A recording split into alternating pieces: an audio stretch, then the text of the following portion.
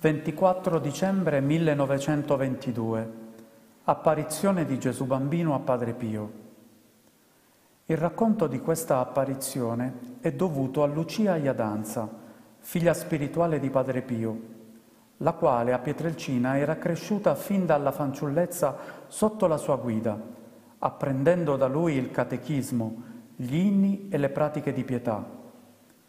Raccontava dunque Lucia che quando il padre fu trasferito a San Giovanni Rotondo, ella si recò spesso nella cittadina garganica per chiedere e ricevere da lui consigli e direttive per la sua vita spirituale.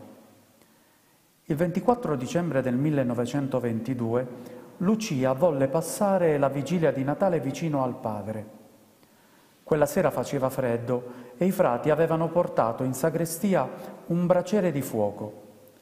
Accanto a questo braciere, con altre tre donne, Lucia aspettava la mezzanotte per assistere alla messa che Padre Pio doveva celebrare.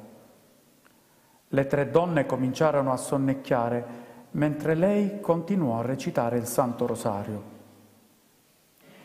Dalla scala interna della sagrestia scese Padre Pio e si fermò vicino alla finestra. Ad un tratto, in un alone di luce, apparve Gesù bambino e si fermò tra le braccia di Padre Pio, il cui volto divenne tutto raggiante. Quando la visione scomparve, il padre si accorse che Lucia, sveglia, lo stava fissando attonita. Le si avvicinò e le chiese, Lucia, chi hai visto?